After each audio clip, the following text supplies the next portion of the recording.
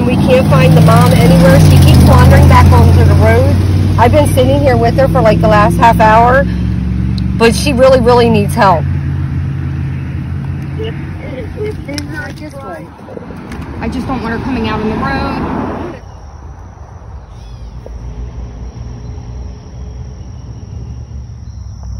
So this is right where we left that little fawn yesterday. Uh, I just pushed a big doe close by out of here, so looks like it made it.